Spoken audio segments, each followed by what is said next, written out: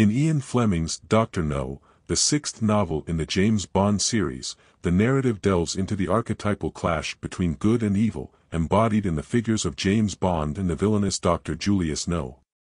The novel is set in Jamaica, where Bond is sent to investigate the mysterious disappearance of two MI6 operatives. The island of Crab Key, owned by Dr. No, becomes the stage for a high-stakes confrontation, showcasing Fleming's signature blend of exotic locales, high-octane action, and a larger-than-life antagonist. The character of Dr. No is one of the most memorable villains in the Bond series.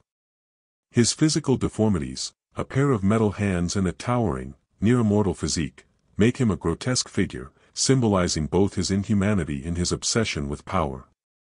Dr. No's backstory, involving his betrayal of the Chinese Tongs and subsequent rise as a self-made dictator, reflects Fleming's exploration of themes such as revenge, megalomania, and the corrupting influence of power. The novel portrays Dr. No as the epitome of cold, calculating evil, a man willing to kill without remorse and destroy anything that stands in his way. James Bond, as the protagonist, represents the opposite end of the moral spectrum. His mission to uncover the truth behind the disappearances leads him into direct conflict with Dr. No. Bond's character is portrayed with a mix of professionalism and personal vendetta, as the mission also serves as a test of his own resilience and ability to overcome physical and psychological challenges. The novel explores Bond's vulnerability and humanity, particularly in the scenes where he is subjected to Dr. No's torturous trials. These trials are designed not only to test Bond's physical endurance but also to break his spirit, highlighting the psychological warfare between the two characters. Fleming's writing style in Dr. No is marked by vivid descriptions and a fast-paced narrative that keeps the reader engaged.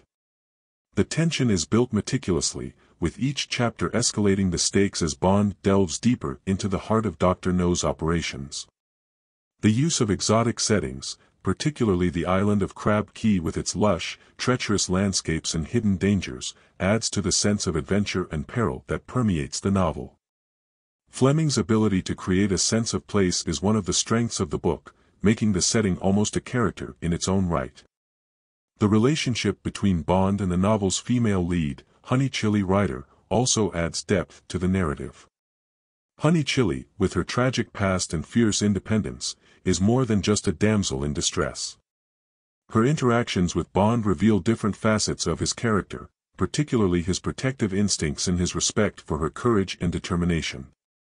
The dynamic between Bond and Honey Chile provides a counterbalance to the violence and danger that surrounds them, offering moments of tenderness and mutual understanding amidst the chaos.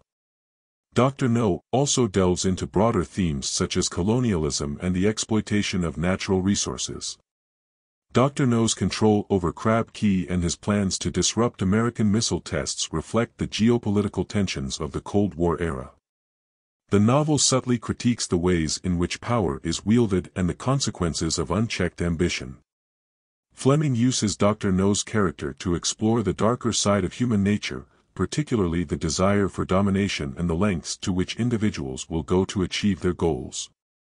In conclusion, Dr. No is a quintessential James Bond novel that encapsulates the elements that have made the series iconic, a charismatic and resourceful protagonist, a formidable and complex villain, exotic locations, and a narrative that blends suspense, action, and intrigue.